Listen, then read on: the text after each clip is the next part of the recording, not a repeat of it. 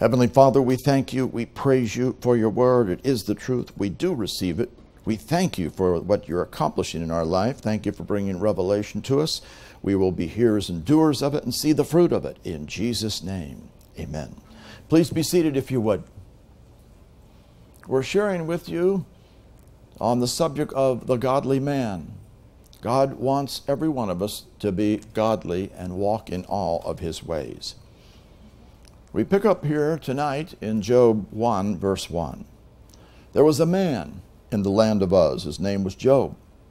The man was perfect, upright, one that feared God and eschewed evil. When it talks about him being one that's perfect, this is the godly man who was walking in the ways of the Lord. It says he was perfect. This is a word which means one who's perfect or undefiled, upright before him. He also was one, as it says, upright, this upright, walking straight, correct, narrow path, certainly. Also, he was one who feared God, had the fear of the Lord. We saw that from many scriptures this morning. And eschewed means he turned aside and departed from evil. That's what God wants for you and me. If we're going to be godly people before Him, and a godly man and person before the Lord, we are going to be undefiled. We are going to walk uprightly in righteousness. We are going to have the fear of the Lord, and we're going to turn away from all evil in our life. Verse 3 it speaks of, because of this, his, he was blessed by God. His substance also was 7,000 sheep, 3,000 camels, 500 yoke of oxen, 500 she asses, and very great household, so that this man was the greatest of all the men of the East. He was a great man. Well, he was blessed of the Lord. When you are walking in God's ways and blessings have come upon you, that doesn't mean that everything's going to be great and there aren't going to be any attacks or problems that could try to come against you. Because we pick up in verse 8, and this is, of course, where they were presenting themselves before the Lord, and Satan came among them. And in verse 8, the Lord said to Satan, Hast thou considered my servant Job? There's none like him in the earth, a perfect, upright man, one that fears God and chews, eschews or turns away from evil. When it says he considered Job, does this mean that God was saying just throw, uh, throwing this out to Satan about looking at him? No. There's a great misunderstanding in understanding what this is said because there are two Hebrew words here. Here's the first one you see in the lower window. It means to set or place, or if you set. And there is a second word underneath this as well, and it is the word leb, which means heart. It says literally, Have you set your heart against my servant Job? That's why Young's translates it correctly. This is what the Hebrew says. Have you set your, my, your heart against my servant Job. That tells you something. God wasn't telling him, hey, have you considered this guy? He's doing great. No, it's the opposite. God was saying, have you set your heart against him to try to want to bring destruction against him? And why would he try to come after him? Because of the fact that he was walking uprightly, he was walking in undefiled and perfection. He was one that feared God and turned away from evil, and the devil was wanting to get to him. Well, you must understand when you're walking in the ways of the Lord, the devil's not just going to give up and say, Well, I'm not going to bother that person. No, he's going to try to come after you. You got to be ready to resist every attack of the enemy. Now, the reason why Job had the problems that he had was because of fear. Remember in Job chapter 3, Verse 25, the thing that he said out of his mouth, he said, For the thing which I greatly feared has come upon me, and that which I was afraid of has come unto me. At the same time, remember that he didn't sin against God in any of the things that he said, because this is before the law came, and the law, and nothing is imputed, no charges are imputed before the law came. Instead, that's why he did not sin foolishly when he said things, as we studied Job before. The point being, though, is that the devil will try to attack someone who is walking in the ways of the Lord. And you've got to be ready to deal with it. Now, in the New Testament, of course, when the enemy comes to attack, is he going to be able to be successful against you and bring destruction against you? Not necessarily. He can try to attack you. But Luke chapter 10, verse 19 says, Behold, I give unto you power. This is the word exousia, which means authority. To tread on serpents and scorpions and over all the power. This is the second word power is dunamis, that means power. Over all the power of the enemy. And then he says, Nothing shall by any means hurt you. Does that mean the devil can't hurt you at all? No. It depends on whether you do what's necessary to stop him from hurting you. Because when it says nothing shall by any means hurt you, you have to understand this is not all statement of fact. The facts are you have authority to tread on serpents, scorpions over all the power of the enemy. But when it says nothing shall by any means hurt you, that's different because it is a subjunctive mood verb, meaning it's a conditional statement meaning that nothing might by any means hurt you if you meet the conditions. And what would be the condition? You have to take the authority that God's given you and conquer the enemy with his power that would come against you. You have authority against over all the power, the enemy has power. So the godly man is going to rise up with authority against the enemy, and he is going to stop all of his works so the power of the enemy is not successful against him.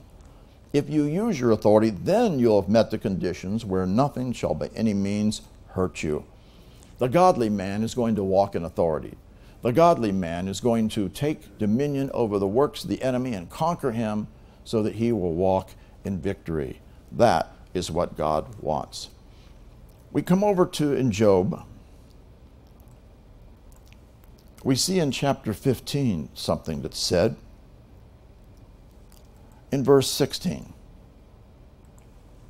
How much more abominable and filthy is man, which drinketh iniquity like water? Why is that? Because of having sin dwelling in the flesh, and he's walking in the flesh in the Old Testament. He's drinking iniquity like water. That tells us something. If you do walk in the flesh and you walk in sin or you walk in the ways of the world, you will be drinking iniquity like water as well. And this means unrighteousness, the word iniquity. Unrighteousness, what's unrighteousness? Sin. You'll be sinning and giving place to the enemy, and you'll have all this destructive things coming into you. Well, that's why you've got to take a stand against sin. You've got to realize that you can conquer all sin. Sin has no dominion over you. The godly man will conquer sin. The godly man understands the fact that now that he is in Christ. Verse Romans 6 verse 2 says, God forbid, how shall we that are dead to sin, you're dead to sin, live any longer therein? Sin doesn't have to have any dominion over you anymore. The godly man is going to walk in perfection is going to grow up and walk in the ways of the Lord and walk in victory. In verse 7, it says, He that's dead is freed from sin. The old you is dead. There's a brand new you on the inside of you. It is Christ in you. And now you are free from sin. You now can walk in the Spirit and you can overcome all sin. Now, if you walk in the flesh, you'll see destruction. The godly man is going to rise up and he is going to not take any unrighteousness into him by sin. Instead, he is going to walk in righteousness and be obedient to the word in everything. 1 John chapter 3, verse 7. Little children, let no man deceive you. He that doeth righteousness.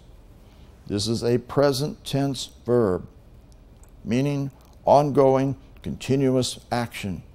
That's the one that's righteous, even as he is righteous. You're to be doing the word of righteousness. If you do it, then you will be righteous. And if you're not yielding to unrighteousness, if you're walking in righteousness, the devil will not have place to work against you in your life. That's why we need to put the Word of God first place and do what He says. At the same time, we go back over to Job and we look at verse 34 verse chapter 34 verse 21 For his eyes are upon the ways of man, and he seeth all his goings. God's eyes are upon the ways of man. He sees everything that you do. He sees every motivation. He sees uh, all the things that you're doing. And of course, when it talks about the goings here, this actually means the steps. This is a word that refers to the steps, translated that the majority of the times, 11 out of the 14 uses. So, as Young's brings out, all his steps he sees. And remember, our steps are not in us to make them, it's the Lord who directs our steps. He sees all the steps. So, are you following the steps of the Lord? Are you doing what He says? If you're walking in His steps, then you're going to be seeing God accomplish what He purposes. His eyes are upon you, and He wants to bring blessings upon you. But you got to make sure you're walking in the right steps of the Lord. We come to Psalms 1, verse 1. Blessed is the man that walketh not in the counsel of the ungodly, nor standeth in the way of sinners, nor sitteth in the seat of the scornful. There's a way that the ungodly walk, and there's a way that the godly walk. You can't be walking in the counsel of the ungodly. That's going to be anything that's contrary to the Word of God. Anything of the world, anything of the flesh, anything the human nature, anything of what I want to do, soul realm, directed life. No. We're not going to walk in the counsel of the ungodly. We're going to walk in the counsel of God from the Word of God. That's why you put the Word of God first place. And that is so important in your life. A godly man is not going to walk in the counsel of the ungodly. He's going to think, what does the word say in every situation? And if anybody brings counsel to you that's contrary to the word, you know it's not from the Lord. It's not going to be God whatsoever. You're going to check everything out and be sure it's in line with the word. Nor are you going to stand in the way of sinners. You're not going to be walking in the way of sin. You're going to separate yourself from anybody that's walking in ways of sin. You're going to make sure you don't touch the unclean thing so you're not contaminated because you're going to be the godly man. Nor does he sit in the seat of the scornful, the ones that would mock or talk arrogantly or, or boast. This can refer to the one who's the boasters. No, pride is going to bring you down. You must maintain humility and walk in the ways of the Lord. So, what's this godly person going to do then? His delight is in the law of the Lord. In his law does he meditate day and night. That means you put the Word of God first place. That's what you delight in. What God's Word says, because you know God's Word is the right way. And you're going to meditate in it day and night. You're going to be thinking, what does the Word say in every situation? What's going to be the result of that? He shall be like a tree planted by the rivers of water that bringeth forth his fruit in his season his leaf also shall not wither, and whatsoever he doeth shall prosper. God wants you to prosper. The godly man will prosper in everything he does. Notice, whatsoever he doeth. Well, why would that be? Because your delight is in the law of the Lord. And you don't follow anything contrary to the word. You're meditating it, you're thinking on what God wants you to think on, on the word, and you're going to be a tree planted by the rivers of water. You'll bring forth fruit You'll be fruitful. You won't have any withering. And whatever you do is going to prosper. God wants you to prosper in everything that you do. The ungodly are not so, but they're like the chaff which the wind driveth away, it says. Therefore, the ungodly shall not stand in the judgment, nor sinners in the congregation of the righteous. Anything that's ungodly, anything that is of sin, has to be eliminated out of your life. For the Lord knoweth the way of the righteous, but the way of the ungodly shall perish. God knows the way of the righteous. Otherwise, if you're walking in the ways of righteousness, he, his eyes are upon you. And remember, he wants to show himself strong on those, behalf of those whose heart's perfect towards him, and that's going to be evident because you are doing the things he says. This brings us to Psalms 4, verse 3. But know that the Lord has set apart him that is godly for himself. If you are a godly person, God has set you apart for himself. He takes notice. The ungodly, uh, he's not going to be manifest himself. He's not going to be doing much with them. He's going to be doing, we're just calling them to repentance. But the Lord has set apart. He's marked out. He's separated. He distinguishes you uh, the one that's godly for himself. Hey, if God thinks something about you for himself, then he's going to manifest himself. He's going to bless you. You're going to see tremendous things happen. That's why you got to be godly. You got to be one of the ones that's godly, and this refers to the ones that are godly. They're faithful, they're following the Lord, they're walking in all of his ways. In Psalms 12, verse 1, a scripture we looked at this morning Help, Lord, for the godly man ceaseth. Where's the godly man? He ceases, it says. For the faithful fail from among the children of men. That also tells you who's a godly person one that's faithful, faithful to walk in the ways of the Lord, faithful to be obedient and to do the things that He tells you to do. Here, the faithful are failing from among the children of men, and the godly man has ceased. We cannot allow that to happen. You need to be godly and faithful in all things.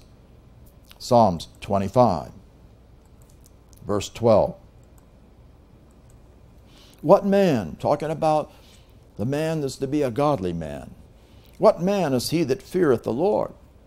Him shall he teach in the way that he shall choose.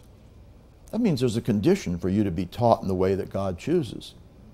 It's not just because, well, I'll get in the Word and God will teach me all these things. No, it shows that there is a condition, isn't there? That he's fearing the Lord. God's not going to reveal, He didn't reveal Himself to those the people that are just walking in their own ways and doing whatever they want. There's lots of people that know a lot of facts about the Word, but they haven't been taught in the way of the Lord. They haven't been taught in the way that He is choosing. Some people, they, they're making their own way. No, you're not to make your own way, remember. It's not in you for the steps that you're to follow. You want to follow God's steps. He'll teach in the way that He shall choose. There's a way that you're to walk in. And we talked about there's a way that man thinks is okay, but it's not the way of the Lord. You must have the fear of the Lord if you're going to be taught in the way that he shall choose. The godly man is going to do, have this fear of the Lord. And he is going to be looking for the way that God chooses, not your own. That's why Jesus said, first thing is deny yourself. You deny yourself because you want to be in the position of walking in the way that God chooses. Psalms 34, verse 8. Oh, taste and see that the Lord is good. Blessed is the man that trusteth in him. If you're going to be a godly man, you're going to be one who trusts in the Lord. You trust in Him with all your heart. You trust in His Word. You trust in His promises. And you trust in the things that He says for you to do. You follow Him and be obedient. Oh, fear the Lord, ye saints. There's no lack or want or lack to them that fear Him. And who are the saints? That's the holy ones. God wants you to realize again, we see this fear of the Lord. You're to be trusting in Him, have the fear of the Lord, be a holy one you meet those conditions as a godly man, there isn't going to be any lack to you that fear the Lord because you're going to walk in his ways and God's going to prosper, remember, everything that you do and you're going to be blessed. The blessings will come upon you. The young lions do lack and suffer hunger, but they that seek the Lord shall not lack, want, or lack any good thing. God wants you to seek him. Those that have the fear of the Lord will seek him because they realize that they must seek after him and walk in his ways because every other way is a wrong way.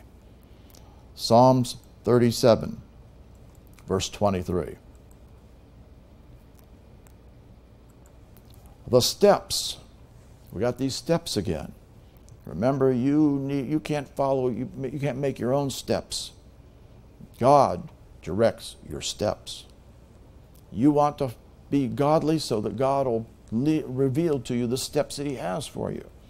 The steps of the good man, it says, are ordered by the Lord, and He delighteth in His way. The good man, the word good, if you look at it, it's italicized, meaning it's not in the Hebrew, but it was put in there because it's trying to bring forth something about the particular Hebrew word that's here, where it's just translated man. It's not the normal word for man. It is the word Geber. Geber is the strong man, the warrior man, the one who fights has strength and power to fight and prevail. That tells you something. If you're going to see God lead you and guide you and accomplish what He purposes and follow in the steps that He has for you, the steps of what kind of man are ordered the Lord? The guy that's a warrior, the guy that's been trained up in the ways of the Lord, the guy that knows his authority. He knows the word, he knows his weapons, he knows how he can conquer the enemy. He's going to use his authority against all the power of the enemy. And God's going to direct your steps. So it's the steps of the warrior man who knows how to fight successfully. Those are ordered by the Lord because the enemy is going to try to stop you and hinder you. You have to be ready to conquer any attacks that the enemy would bring against you. We come to verse 37. Psalms 37, verse 37. Mark the perfect man. Again, this is the guy that's perfect. He's undefiled. We already saw this before, talking about Job. He's upright. Behold the upright, the guy who's walking the straight path. For the end of that man is peace. That tells you something else. The man who's going to be the godly man. He is going to walk in perfection, undefiled. He's going to be upright, walking the straight and narrow path. Because he's walking that way, God's going to bring blessings to him. And what's going to be the result? The end result? He's going to have peace, which is the word shalom. This isn't talking about peace of mind only. Shalom is a word that's an all encompassing word referring to God's total completeness and soundness, peace, health, prosperity, quiet, coming to the place of peace even from war, because you con- conquer the enemies in your life. You know, when they conquered the enemies, they came to the place of rest. The godly man is going to conquer the enemies and come to the place of entering into the spiritual rest of God. Because the end result of this man, the guy that's the perfect man, the upright one, he is going to possess everything that God has for him. He's going to enter in to the prosperity, the welfare, the soundness, the completeness, the, the, the health, all that God has for you. Psalms 40, verse 4. Blessed is the man. And again, this one, again, is not talking about just the normal word man. This is the word geber again. Blessed is the warrior man that makes the Lord his trust. Respect is not the proud, nor such as turn aside to lies. No. This is the guy that's the godly man. Many people, they want to be a godly man, but they haven't met the conditions to see it come to pass. Remember, blessed is the warrior man. He's, he's, got, he's been trained up. He's operating in fighting the good fight of faith, warring a good warfare. He knows his weapons, he's using his authority. He's fighting against the enemy and conquering him, confronting him. He's going to be blessed because, of course, he's going to trust in the Lord. And he's not going to respect the proud, anybody that's proud or defiant, because he's humble himself. He's submitted unto God. And he's going to, or any that turns aside to lies, which means anything that's contrary to the truth meaning he's going to only walk in line with the Word. He's not going to walk in man's doctrine or anything that's contrary to the Word. No. This is the godly man. He doesn't respect anything that's, that's of pride, of, of I, I, I, me, me, me. He didn't respect anything that turns aside to lies. That's why we always want to follow the truth and put the Word of God first place anything that's false, anything that's untrue, anything that's deceptive. You want to have nothing to do with it whatsoever. In Psalms 43, the godly man. Judge me, O God, and plead my cause against an ungodly nation. O deliver me from the deceitful and the unjust man. The godly man, he's not going to have any ungodliness in him, and he's going to stand against the ungodliness in a nation. He's going to stand against things that are deceitful and things that are unrighteous. You got to take a stand. You can't just kind of let things go by. We have a problem in this nation because people have not, the Christians have not risen up and taken a stand against the ungodliness and against the deceivers and against that which is unrighteous. Remember, it's my people who are called by my name that must rise up and walk in righteousness and stand against all the ungodliness. Uh, the godly man will stand up against it and proclaim the truth. Psalms 112. In Psalms 112, verse 1 Praise you, the Lord, blessed is the man. This is the general word for man that feareth the Lord. Again, we have the fear of the Lord here. He delights greatly in his commandments. God wants you to have the fear of God. You understand that his way is right, any other way is a way of destruction, and that you're going to delight greatly in his commandments. I mean, if you delight greatly in his commandments, you're going to learn them, you're going to know them, you're going to walk in them, you're going to be sure that you're doing them. You're not going to be, you know, just go, going your own way and just doing whatever you want. No, you're going to be walking in the commandments of the Lord. What's going to happen to this guy? This is the godly man, see? His seed shall be mighty upon the earth because they're going to get strong and mighty through the word of God in you. You're going to be a godly one, remember? You're delighting in the word and you're delighting greatly hearing and doing the word. You're going to be strong and mighty through the word in you. And the generation of the upright. This is the guy who's walking uprightly. He's walking the straight and narrow path.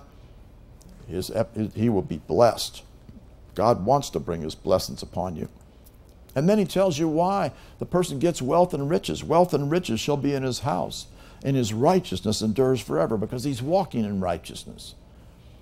Your righteousness is only because of the fruits of righteousness in your life, because you do the word of righteousness and you're walking in it. Under the upright there arises light in the darkness. God will bring light to you. He's gracious, full of compassion, and righteous. And he says, A good man, he shows favor, lends, he'll guide his affairs with discretion, and line with the word of God. Surely he's not going to be moved forever. The righteous shall be an everlasting remembrance. God takes notice of the righteous, see. He won't be afraid of evil tidings, doesn't matter what's coming. You won't have fear about the evil because his heart is fixed, trusting in the Lord. And furthermore, his heart's established. He won't be afraid until he sees his desire upon his enemies, which is their destruction. Because you're going to be engaging in warfare. You're going to be conquering your enemies. You don't run away from them. You're going to be confronting them and with power and might and authority and conquering them. This is the godly man. He's going to be fearing the Lord, delighting greatly He's going to be con- conquering the enemy. His heart will be established. Nothing is going to move him. He's not going to be afraid. He will see his desire upon the enemies. That is what God wants. We come over to Proverbs, and we got a lot to talk about in Proverbs, talking about the godly man. In Proverbs chapter 2, my son, if thou wilt receive my words, hide my commandments with thee that means you get the word in and you keep it in you. You don't let the devil take it out of your heart. You keep it. You're carrying it out. You're obviously you're hiding it. You're keeping it in your heart. When you, the word's in you, then you won't walk in the ways of sin. So that thou incline thine ear unto wisdom and apply thine heart to understanding. Remember that understanding and wisdom comes because of the application of knowledge that you're walking after and it's imparted to you. We've done a study on knowledge, understanding, and wisdom. Knowledge is pleasant to your soul. Wisdom, uh, understanding, and wisdom gets imparted to you because of you doing the word. You're going to incline your ear to God's wisdom and apply your heart to gain understanding. Yea, if you cry after knowledge and lift up your voice for understanding, you're seeking God for it, see? And you're not just seeking, you know, just haphazardly. No, you're diligent. You seek her as silver and search for her as for hid treasures because you realize God's way is the only way and the only way it's going to bring blessing. You're going to get knowledge, you got to get understanding, you got to get wisdom. The Proverbs say, get the wisdom and get the understanding of God. It is absolutely necessary. If you understand, thou shalt understand the fear of the Lord, and you'll find the knowledge of God, because God's way is the only way that is right. And as you walk in His ways, then He's going to give you these. He's going to start imparting things to you. The Lord will give wisdom. Out of His mouth will come knowledge and understanding. He lays up sound wisdom for the righteous. And the righteous, remember, those who are doing the righteousness, walking in the way of righteousness, not just someone who's born again. He's a buckler. He's a shield to them that walk uprightly. God will be your protector. The godly man is going to walk uprightly and he's going to be protected. The enemy is not going to be able to get to you because you're going to walk in the ways of victory. He's going to hold the shield of faith up and quench all the fiery darts of the wicked one. This is the godly man who is going to walk uprightly. He's, he's going to walk uprightly in line with the Word of God consistently in his life. He keeps the paths of judgment and preserves the way of his saints. This is the word here. Keep here is the word natsar, which actually means to guard, but in a sense of watching over. He keeps and watches over the paths of judgment and preserves. This is the word for guard, shamar, so he's watching over and he's guarding the way of who? The saints. These are the godly, holy ones. God's not going to be protecting those who just, you know, they're walking any which way. Many people just try to take hold of a promise, but they're not keeping his path and walking in the way as a holy one, and they wonder why they're not seeing God's protection. Notice, he guards the way of who? the holy ones. These are the ones that are walking uprightly in the way of the Lord. It says, Then you'll understand righteousness, judgment, equity, and every good path, because God's going to reveal it to you, see. And when wisdom enters into your heart, remember, it's coming into your heart by God giving revelation of it. And knowledge is pleasant to your soul as you get the knowledge of God from the study of the Word. Discretion shall preserve thee, and understanding shall keep thee. Discretion refers to purpose. The purposes of God will that you have, that He puts in you from His Word and, and what you gain of the understanding and wisdom, it will guard you because you're walking in His purposes, not yours. See, the godly man, he just doesn't just hear the Word and then walk in his own ways. No, we're talking about someone that's becoming like God and walking in His ways. Understanding shall watch over you because you're going to walk according to knowledge, understanding, and wisdom. That's what He wants. And what's He going to do? It's going to deliver you from the way of the evil. The word man there is not here just from the way of evil. You get delivered from all evil. And from the man, this would be someone who is doing evil, that speaks froward or evil, perverse things. Word curses won't have any effect on you because God will deliver you from the way of evil and from anybody that's speaking evil things against you. He will deliver you. This is for the person who receives His word, hides His commandments, attends to wisdom, applies his heart to get understanding, gets knowledge and understanding, seeking after it like for silver and for hidden treasure. You're going to know the fear of the Lord. You're going to find the knowledge of God, and God's going to give you the wisdom and understanding. And He will be a shield to you and guard you when you're walking uprightly in integrity. He'll watch over and guard your paths, guard your way as a saint when you are a holy one, a godly one. That's what He will do. So you wonder why some people they don't they don't get protected. It's because the enemy gets to them. They're not walking uprightly before the Lord. It means you're going to walk uprightly before him, you're going to be obedient in all things, you're going to put him first place in your life, the godly man. At the same time, he's got to have the right character. The godly man is not going to be yielding to sin. Jealousy is the rage of a man. Therefore, he will not spare in the day of vengeance. You can't be yielding to any kinds of sin of any type, such as the godly man. He's not going to be jealous. He doesn't get into a rage and get mad and get all upset. If that's happened in your life, you're not functioning godly. He's the one that's going to be spared in the day of vengeance. You see, he's walking uprightly before the Lord. Proverbs chapter 11, verse 12. He that's void of wisdom despises his neighbor. He, he didn't have the wisdom of God put, put in him. But a man of understanding will hold his peace. He will hold his peace and make sure he won't be speaking a bunch of negative things. See, God's Word is going to do a tremendous work in you. It'll bring you to the place of you being a godly person that you only will do what He wants you to do. You're going to hold your peace. Instead of saying things that you have no business saying, or saying things that are going to be destructive, or saying things that are negative, and making mistakes with your mouth. We cannot allow that to happen. The godly person doesn't do it. That's why people, you listen to what comes out of their mouth, you find out how godly they are. Verse 17 The merciful man does good to his own soul, but he that's cruel troubleth his own flesh. That's why we got to have the character of the Lord in us. The merciful man, if you're going to be one who's going to be merciful to others, because remember, whatever you give out is going to come back to you. Blessed are the mercifuls, they shall obtain mercy. You're going to be doing good to your own soul. You're going to see God's mercy coming back to you. But if you're cruel, you're going to trouble your own flesh.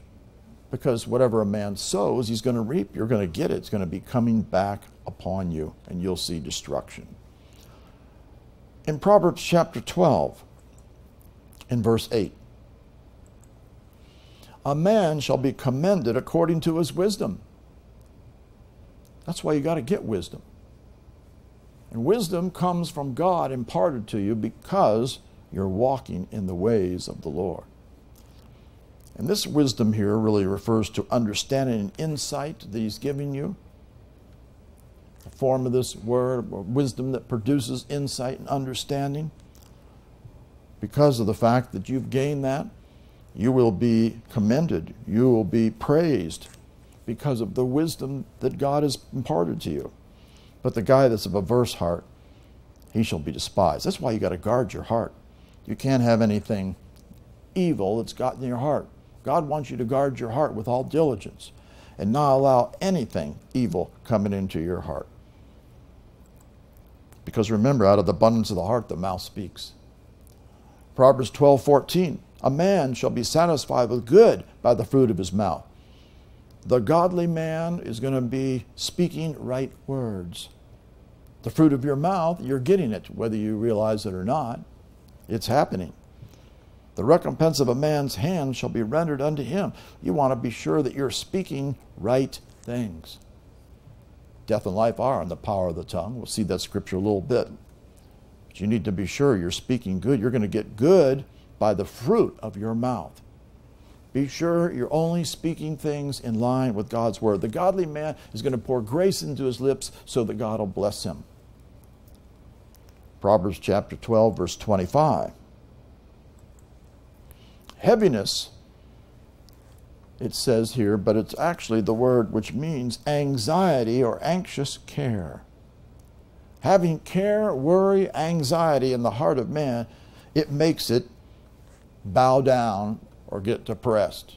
It will be it will not be strong, it'll be low. It says it makes it stoop, but it'll cause it to be depressed, essentially.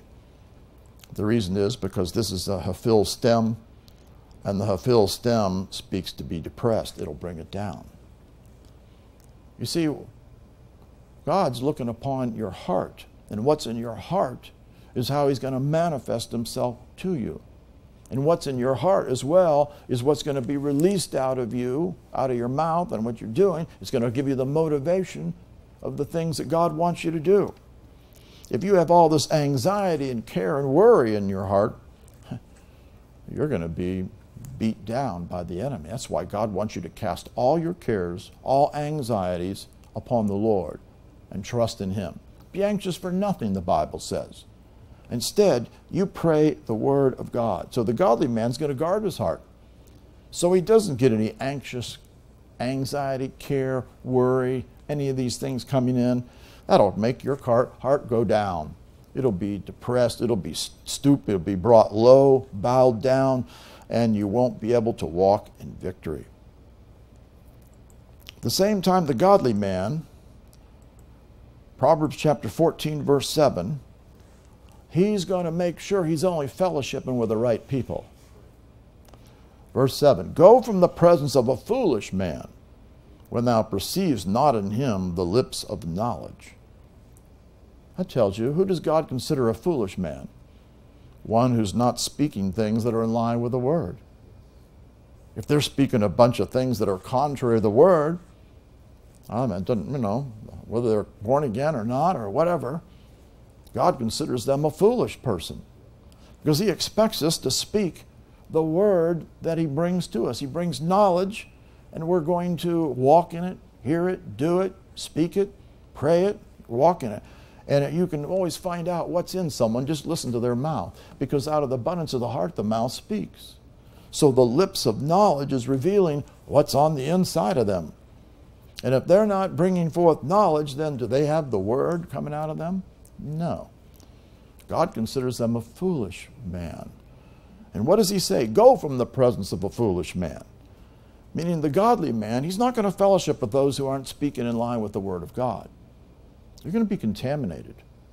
You're going to be affected by, you know, you can't have fellowship with people that aren't walking right.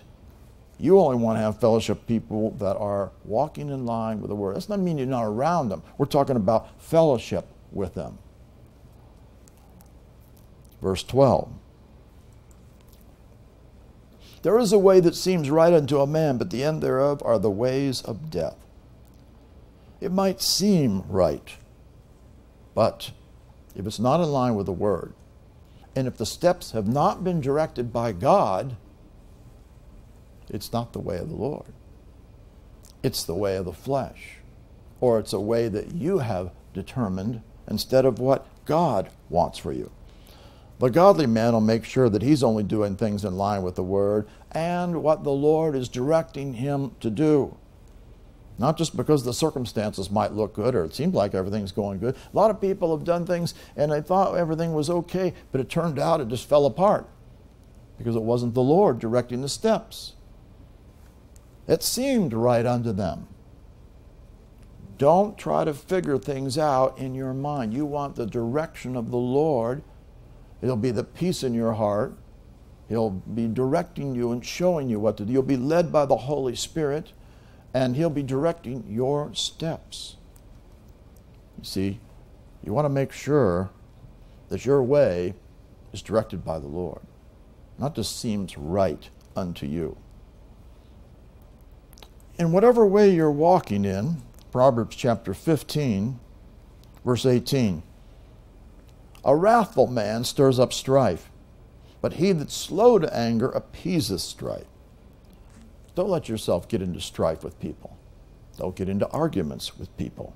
Don't get into contention with people this is referring to, or discord, or be an invariant in any particular way. You don't want to have anything to do with it. In fact, this particular word is anybody that gets into any kind of strife, strife or any way with them, striving with them in any capacity.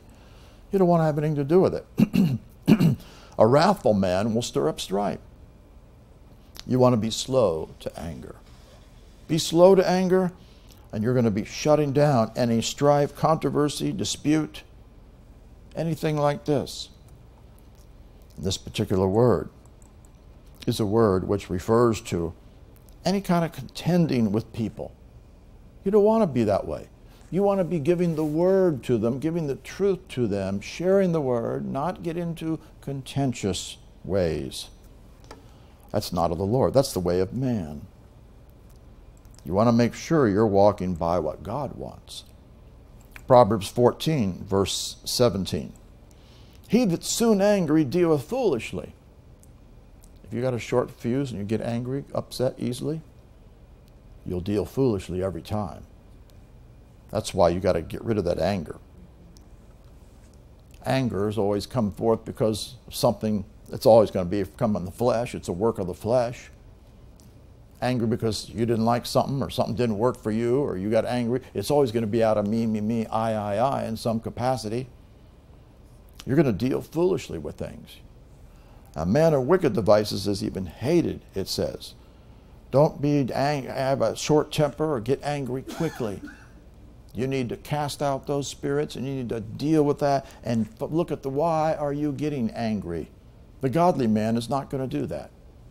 The godly man is going to be slow to anger, as we saw. And his will only be a righteous anger. It won't be coming out of the flesh whatsoever. In Proverbs 15, verse 21, talking about the godly man, the godly person. Folly is joy to him that's destitute of wisdom, but a man of understanding, he walketh uprightly. The more you get the word in you and you hear and do it, according to the knowledge of God, the more the understanding will come, and the result, it will carry over into your walk. It'll give you the motivation, it'll give you the desire to do what's right. You're going to be walking after because of God's influence in your life. Remember, the man of understanding, he's the guy that's gotten um, understanding imparted from him from doing the word by God. He's going to be walking uprightly before the way of the Lord. So the godly man, of course, is, that means he's going to seek to get understanding because he knows the only way he's going to walk uprightly, it's not going to be him in the flesh accomplishing this. No, it's going to be God working through the word in him, working in the causing him to have the motivation, the desires, and the word is directing him. He'll be walking uprightly in the ways of the Lord. That's why you got to seek after understanding and wisdom by hearing and doing the word and seeking after the way of the Lord. Verse 23 A man has joy by the answer of his mouth, and a word spoken in due season, how good it is. If you speak the right words, you're going to have joy.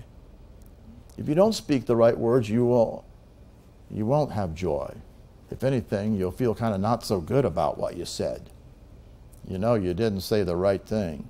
You know it wasn't something that was coming, it was coming from you. You give your opinions, you give your thoughts, you know, and, and uh, you, a person didn't receive it or it wasn't really ministering life to them. You're not going to have any joy whatsoever. A man has joy by the answer of his mouth when it's the right thing. A word spoken in due season, how good it is. And you learn to speak at the right times, and sometimes you hold your peace. You know, don't get run at the mouth and think you got to always say things. Sometimes you can be uh, a word spoken in due season at the right time. This means how good it is. You want to have wisdom about when to speak and when not to speak. Speak what the word says, of course. Don't give your opinions. They're no good whatsoever. Proverbs 16:1. The preparations of the heart in man and the answer of the tongue is from the Lord the preparations of the heart. Otherwise, your heart is going to get prepared. It's from the Lord. And then what's come, what comes out, the answer of the tongue is going to be from the Lord because your heart has been prepared. So the godly man's going to prepare his heart. And how are you going to prepare your heart? You get the word in you. And you seek to get understanding because remember, understanding and wisdom comes into the heart imparted by Him because you've been walking in line with the Word. It all starts with the Word, hearing and doing the Word. Understanding and wisdom will be imparted to you. Your heart will get prepared. And again, out of the abundance of the heart, the mouth will be speaking. You'll be speaking with what God wants. You'll be releasing understanding and wisdom, and there'll be anointing, and there'll be power, and there'll be, uh, it'll be uh, the word will be effective. That's why you got to get yourself prepared.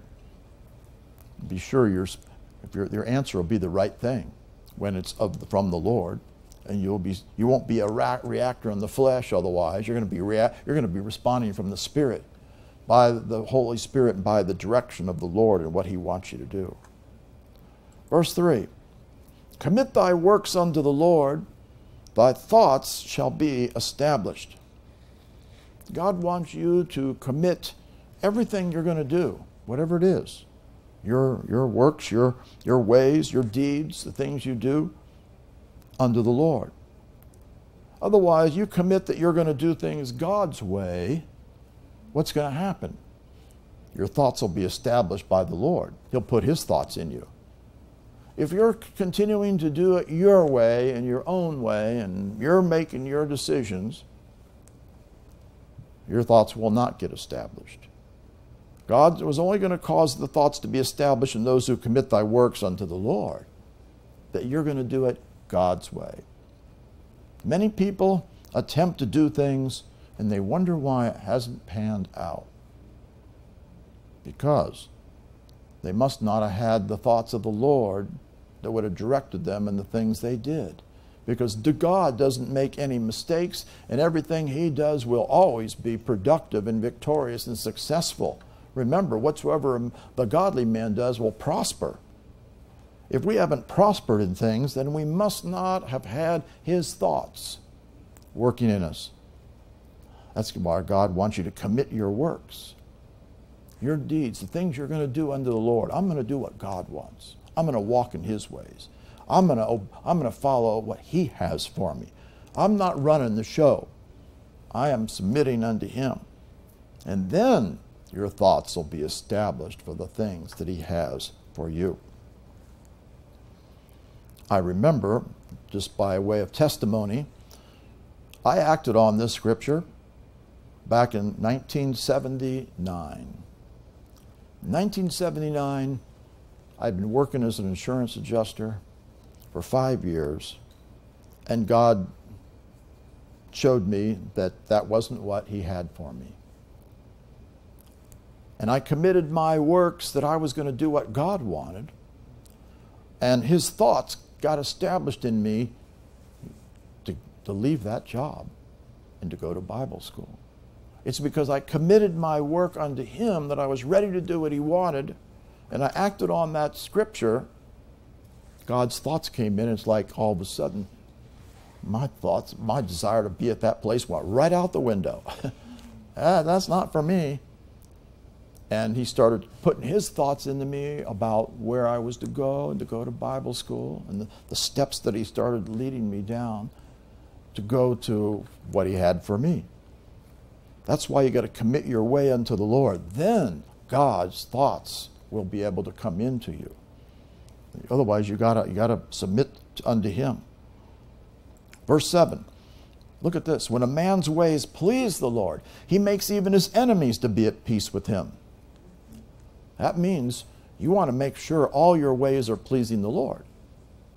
That means you're not going to follow your own way. That means you're submitted unto Him, you're yielded to Him, you're going to do what He says. And of course, it's always going to be in line with His Word. And notice, He'll even make His enemies to be at peace with you. Because when you're in the will of God and you're following His way and you're directed by the Holy Spirit, God's blessings will be there, the protection will be there, we saw and even the enemies will be at peace with you. We need to be doing the things that God wants us to do at all times. We see over in Proverbs chapter 17, verse 27, something else. He that hath knowledge spareth his words, and a man of understanding is of an excellent spirit. When you get knowledge, you'll understand Words have power. Death and life are in the power of the tongue. You can be words can do negative things or positive things.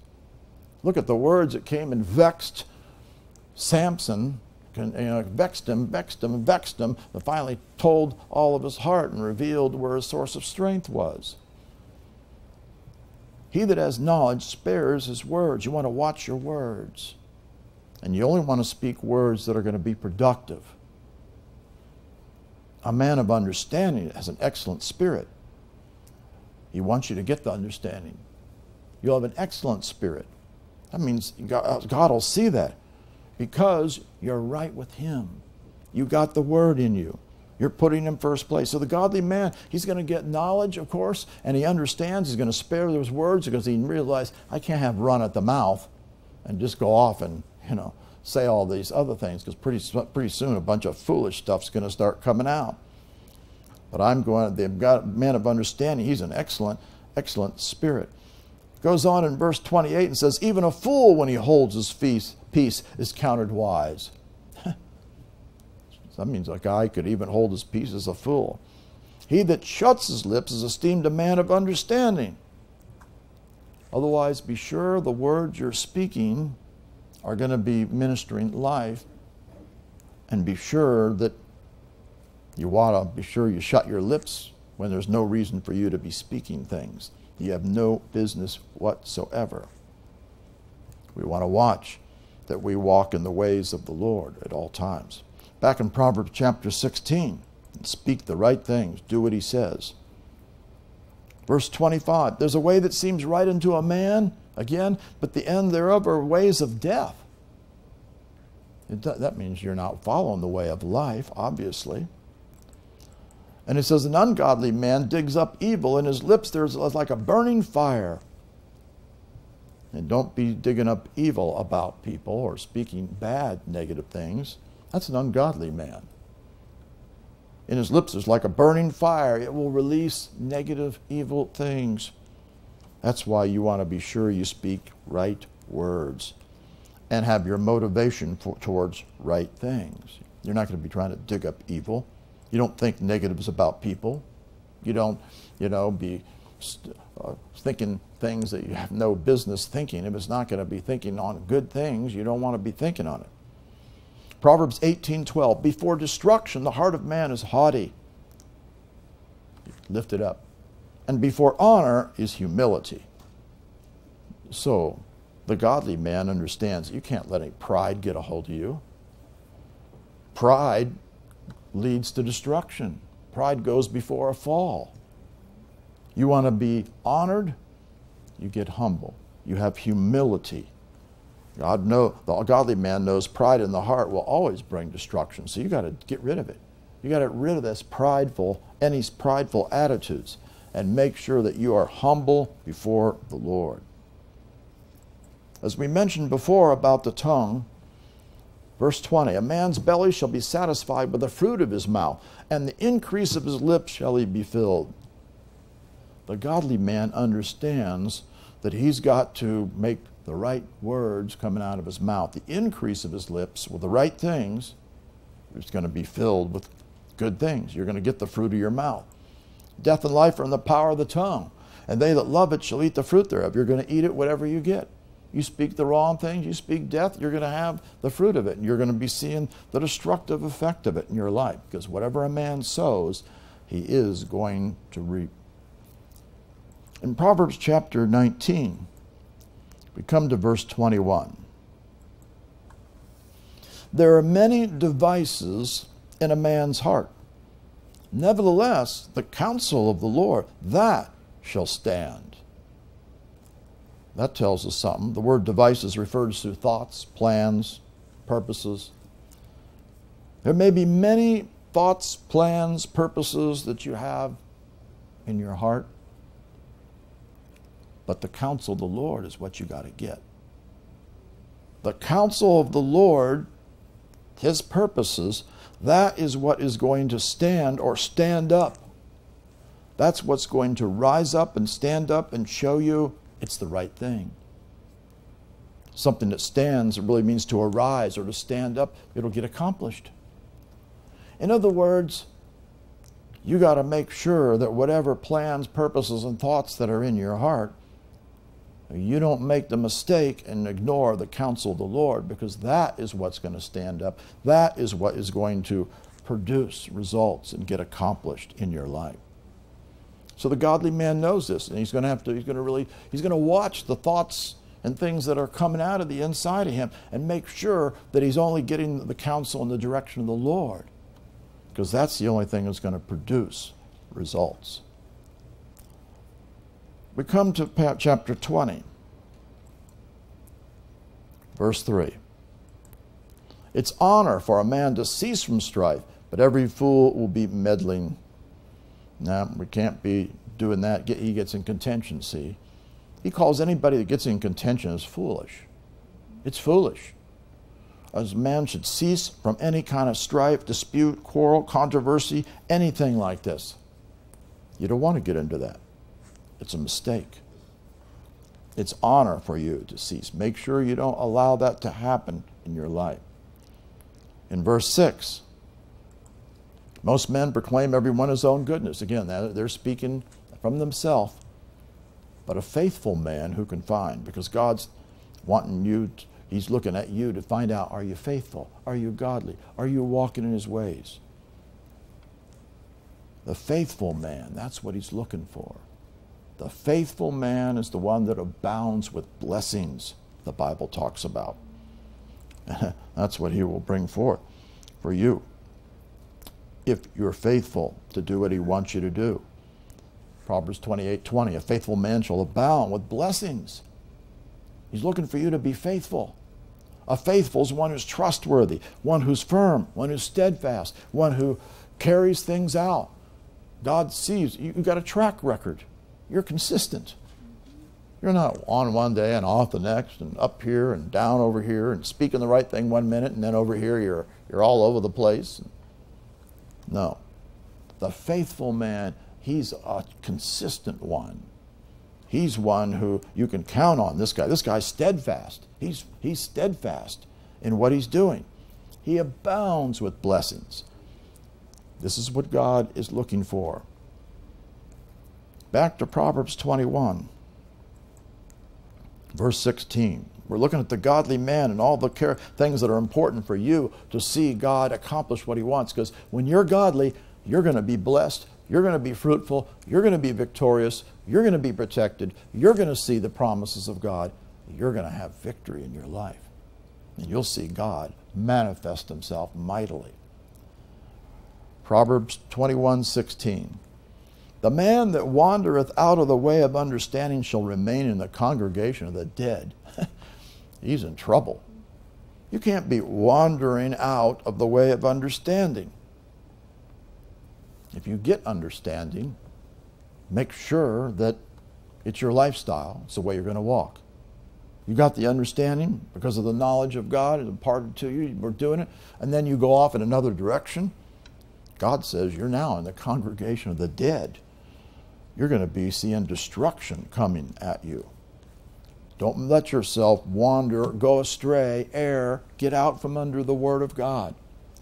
Make sure the godly man, see, he's going to be consistency. Otherwise, you'll be out in the congregation of the dead. That's the ones that are going to see destruction instead of the ones that are following the way of the Lord. Verse 17 He that loveth pleasure shall be a poor man, and he that loveth wine and oil shall not be rich loving pleasure. That means, please me, please me. Basically, you're operating in the flesh. And you want things for yourself. He's going to be a poor man. God's not going to bless you. You're not going to be blessed. You live unto God, see. You're not going to be a pleasure seeker. He that loveth wine and oil, what's this talking about? Wine and oil were their crops that would produce prosperity. The guy who's loving all this wine and all this oil, he wants to get all this stuff. It says he'll not be rich. Why? What's the problem? It's his motivation. His motivation is he wants all these things to gain riches instead of loving the Lord and letting God prosper him, and God will bring riches to you. But the guy who's loving all these things, he's not going to be rich. What it's talking about is your motivation.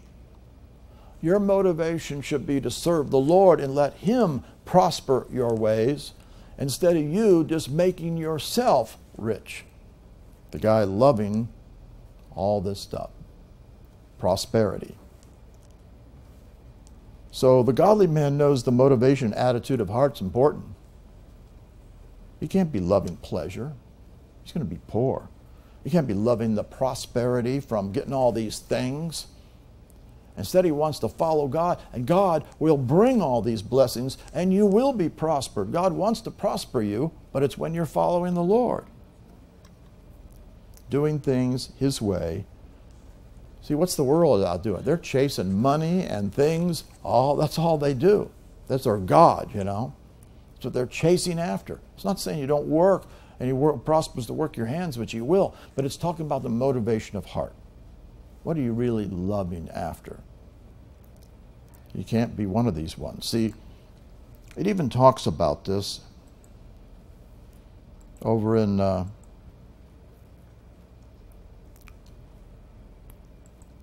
it's not this one. It's um, uh, let's see, is it? I'm trying to remember where one it was at. Mm. Yeah, 2 Timothy 3. In the last days, perilous times will come. And it speaks these guys are lovers of their own selves. This shows their motivation. They're covetous. They're all, all a bunch of self. This is their total motivation. And it talks about these guys being lovers of pleasures more than lovers of God. Shows the motivation. Uh, lovers of riches and lovers of all this stuff shows the wrong motivation. You need to be a lover of God. And when you're a lover of God and walk in His ways, God will prosper you and bless you. These are the ones that are all, these are the ones that in the last days it says, these are the ones that are that are making mistakes. They're not following the way of the Lord. Also, God wants you to be wise in your spending habits and what you spend money on. Proverbs 22, verse 7. The rich rules over the poor, and the borrower is servant to the lender. He's a slave, actually, to the lender. That doesn't mean you can't borrow. What it's talking about is the fact that, yeah, you might borrow, but you don't want to stay in that state. You want to get it paid off. Because do you own anything? You don't own anything until you own it free and clear. The borrower, oh, he is a servant or actually a slave to the lender.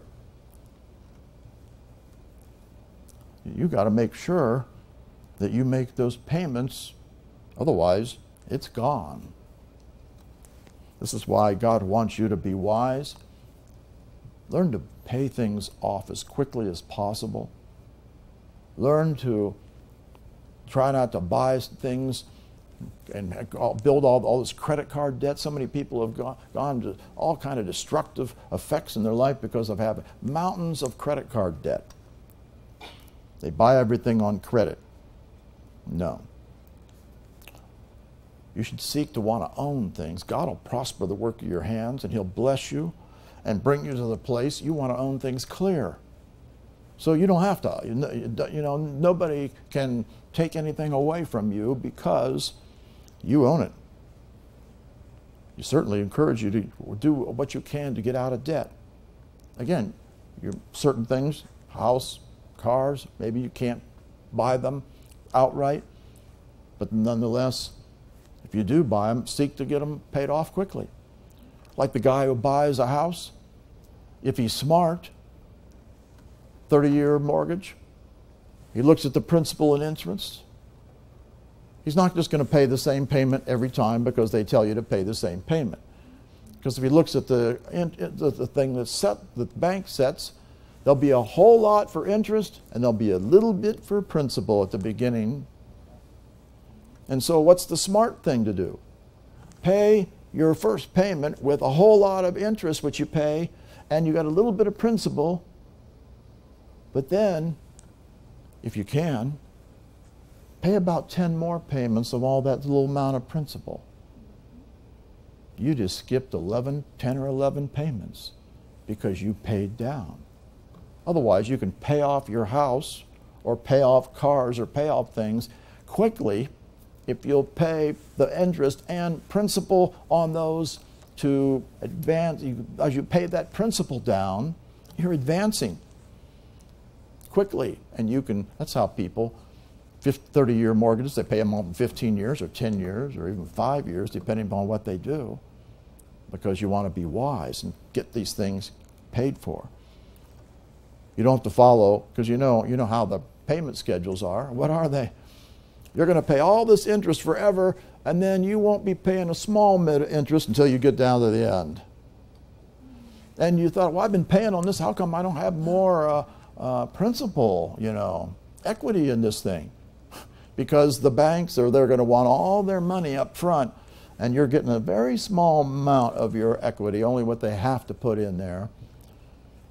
And so you're you're going to end up just following that. But you can pay things off quickly. That's with cars, that's with houses, if you're wise and learn to do these kind of things. You want to get yourself out of debt, especially in the days that we're in. You never know what kind of financial climates might be down the road. You want to definitely especially with the, look at the people out there in the political world, the business world, and all the, the globalists and all these people, all the things that they're doing. You want to get yourself sound financially. Proverbs 22, verse 24.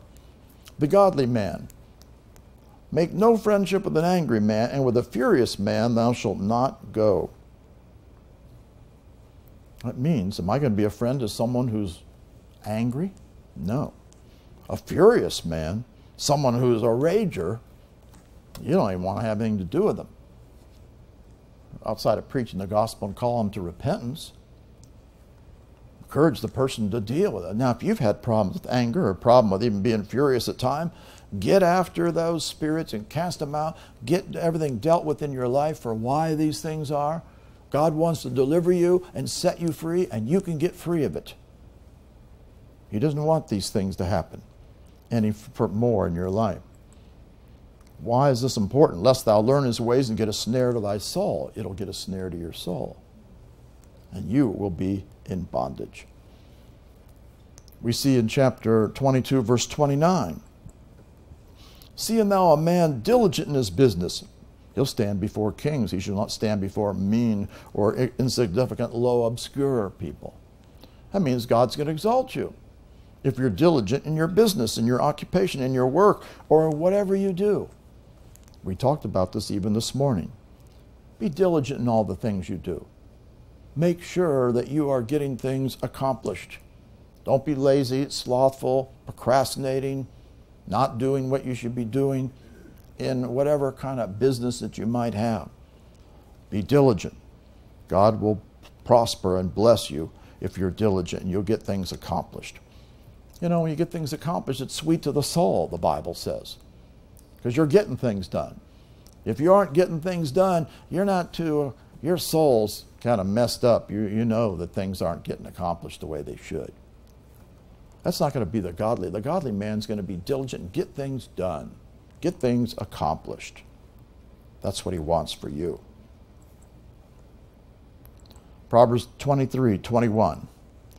The drunkard and the glutton shall come to poverty, and drowsiness shall clothe a man with rags. You got a problem with drunkard? Shouldn't be drinking any alcohol. We've already talked about that in a series we did. Or glutton or with food, you need to get rid of it. The spirits from alcohol and from gluttony will take you down to poverty. Poverty spirits come into you. The godly man's not going to be a drunkard or glutton or addictive compulsive one.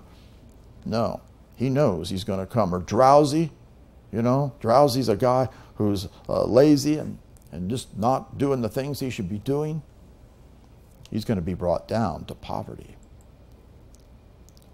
Otherwise, we're going to correct these problems. Proverbs 20, 24 5 A wise man is strong. And this is the geber the wise warrior. Strong. He gets strong, strength. And a man of knowledge, he increases his strength. And this is the word koach, manifesting a strength that manifests power. It's the Hebrew word koach. So you got to get wisdom, and wisdom's going to come to who? The ones that are hearers and doers of the word, and they're going to be trained up as a strong man, a warrior man. The stronger you get and the more effective you are in spiritual warfare, and wisdom imparted to you because of you doing the word and conquering the enemies, that produces strength and might in you. And the more you, of course, get knowledge, you are increasing manifest power to come forth out of you. So the godly man, he knows, hey, I'm going to get the word of God. I'm going to, I'm going to engage in the warfare. Those people that don't want to engage in warfare and get mighty and strong and they're never going to become spiritually strong. Because, you know, the devil will come to take the word out of your heart. And if you don't get, engage in the warfare and conquer the enemy's attacks and start overcoming everything and casting out the demons that are warring against you and conquer them, how are you ever going to get to the place of being strong and mighty? You won't. That's why the ones that get strong and mighty are the ones that go through deliverance and get set free from bondages in their life. And they come to the place of having wisdom. They become warriors. You got to become a warrior to see things come to pass.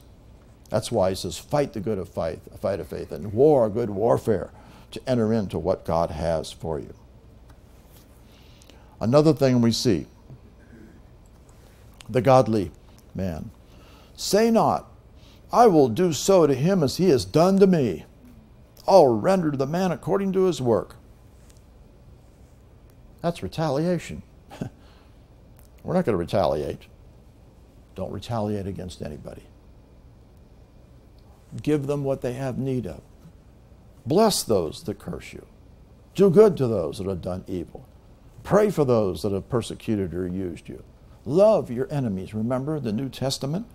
We're not going to be retaliatory. You be retaliatory, you're going to be in trouble. Then we come to verse 30. I went by the field of the slothful and by the vineyard of the man void of understanding. The guy that's lazy. Well, that tells you something. If you're lazy, are you going to get understanding from God? No. You're going to only get understanding because you walk in and do the knowledge. You do what the Word says. Knowledge will bring forth and impart when you walk in it and get the fruit from doing the Word will bring the impartation of knowledge, of, of understanding to you. Uh, what happens to the guy who is slothful and he doesn't have the spiritual understanding? Lo, it's grown all over thorns and nettles, covered the face thereof, the stone wall thereof is broken down. Everything gets broken down in your life without it. I saw and considered it well. I looked upon it and received instruction. Little sleep, little slumber, little folding of the hands to sleep. That's a guy that's, he loves sleep. So shall thy poverty come as one that traveleth, and thy want or lack as an armed man just comes suddenly on you because of not being diligent to do the things that you should do. You see, consistency of doing things is important. Proverbs 6, verse 6. Look at it. It says about the ant. Go to the ant, thou sluggard, lazy, sluggish one. Anybody ever see an ant sitting still? No, they're always going, going, going, going, going, going, going, going, like Energizer bunnies or something. They're always doing stuff, aren't they? Working. Consider her ways and be wise. Having no guide, overseer, or ruler, nobody to tell him what to do. Provides her meat in the summer and gathers her food in the harvest and working and does things at the right times, knows what to do to see everything come to pass. That's what God wants. How long shalt thou sleep, O sluggard? When wilt thou rise out of thy sleep? We cannot be lazy and slothful, sluggish. He wants you diligent.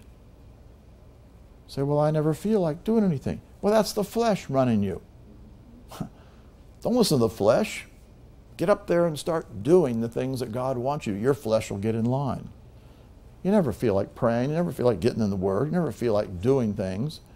But you get up and you, God says to do it, and you start doing things, and you pretty you get in the flow.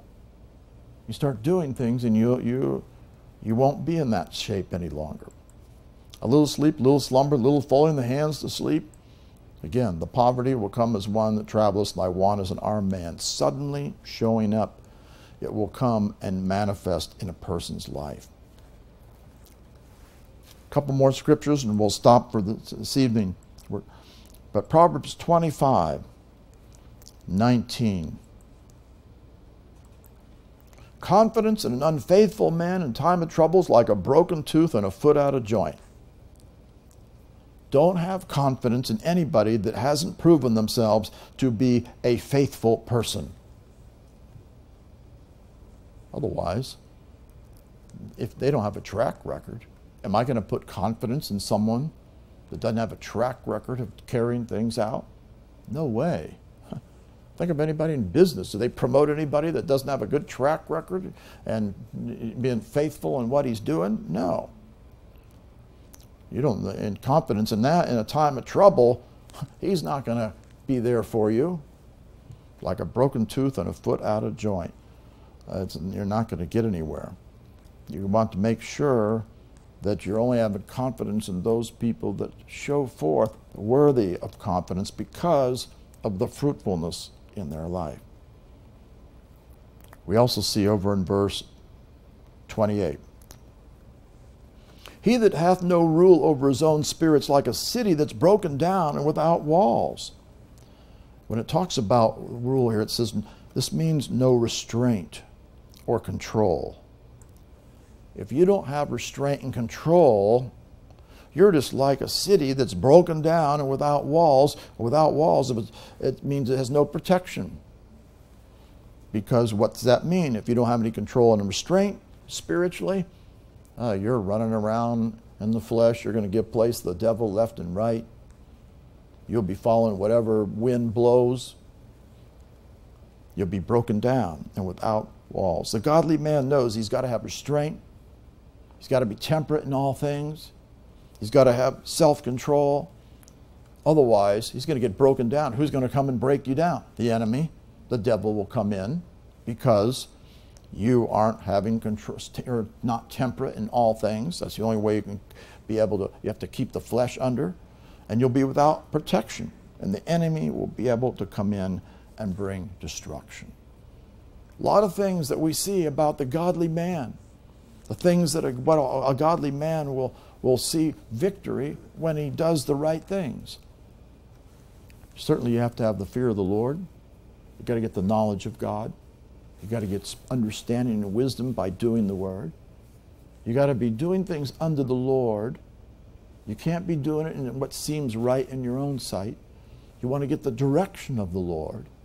You ought to, of course, be holy, righteous, without blemish, upright before Him walking in his ways, diligent in the things, not giving place to the flesh. We see many things about that. You can't be doing things, can't be lazy, slothful. The diligent are the ones that are going to, to see victory, and the faithful, the ones that are going to be promoted. God is looking for us to come to the place of being the godly, faithful ones. And we'll go back, we'll close with this scripture. The one that we begin with this morning Psalms 12:1. Help, Lord, for the godly man ceaseth, ceaseth, for the faithful fail from among the children of men. Faithfulness precedes promotion. If you aren't faithful, is God going to promote you? No.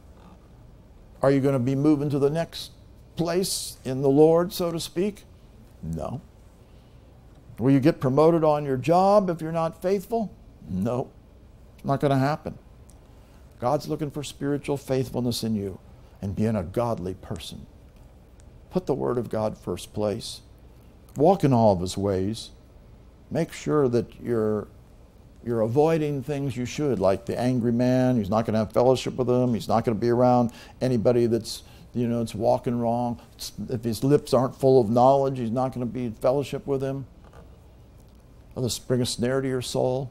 Otherwise, we want to be the godly men, and the godly men are going to do what the Word says, and then God's going to work mightily in your life, and He's going to accomplish everything He purposes. You're going to get prospered, you're going to get blessed, God's going to be directing your steps, you're going to know what to do in every situation. And He's going to bring forth the things and bring the desires of your heart into manifestation because you have the wisdom of God, the direction of God. You have His desires on the inside of you and He will bring forth good things for you in your life. Say this with me Heavenly Father, I thank you and praise you for the Word of God that gives me understanding of the godly man. As I get godliness established in me, being faithful, having knowledge, and getting understanding and wisdom, so that I walk in the ways of the Lord speak the things he wants, does the things he wants, has the motivation of the Lord, does everything unto the Lord, God will manifest himself in the godly man and bring forth victory. And I will not allow myself to be contaminated by anything else as I'm walking in godliness and being faithful. God takes notice of the God of the faithful man, of the godly man. I thank you. As it says, you'll set apart the godly for yourself. I will be a godly one, and you will set me apart for yourself. You will prosper me, you will bless me, you will bring forth everything I have need of. There'll be no lack or want.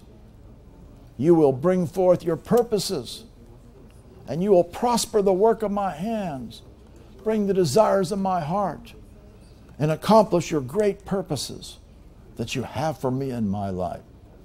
I thank you. I will be the godly person according to the Word of God. And I will be a warrior. I will get mighty. I will be strong. I'll be full of power.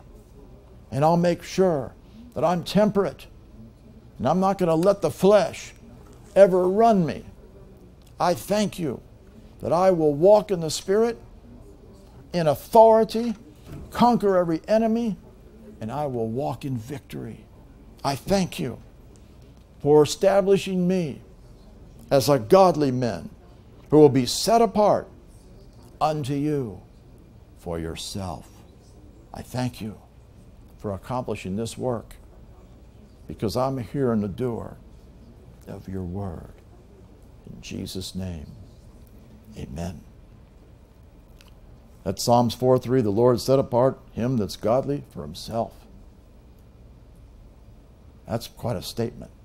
God will set you apart for himself as we're godly. Put him first place. Meet these conditions of the Word of God. Make sure you're doing things God's way. Separate yourself from that which is not of Him.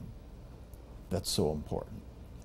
Father, I thank you that we are going to be the godly ones. You said the godly cease and the faithful fail.